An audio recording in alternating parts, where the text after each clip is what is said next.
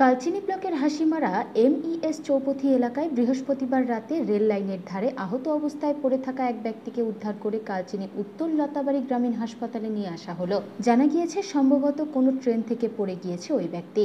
বৃহস্পতিবার রাতে রেল লাইনের পাশে ওই ব্যক্তিকে পড়ে থাকা অবস্থায় দেখে স্থানীয়রা এবং তাকে উদ্ধার করে কালচিনির লতাবাড়ি গ্রামীণ হাসপাতালে নিয়ে আসেন স্থানীয় বাসিন্দারা।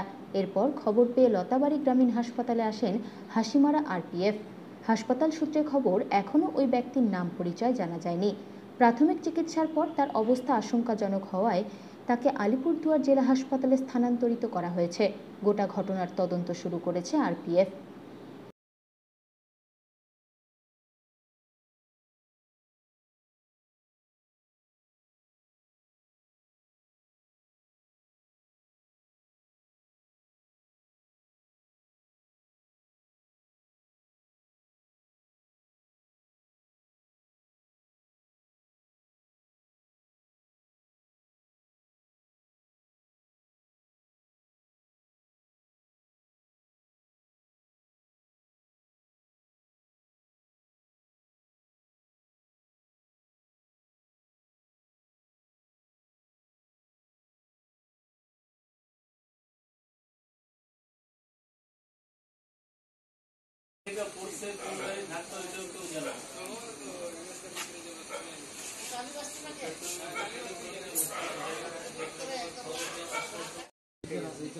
हाँ हम लोग तो जल्दी से नहीं इमरजेंसी आप पूछते हैं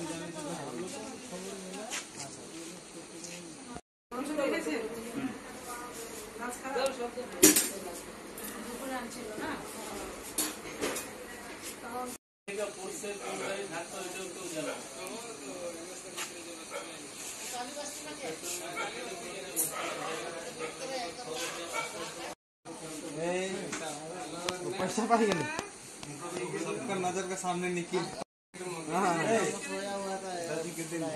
लालन बगन खा गया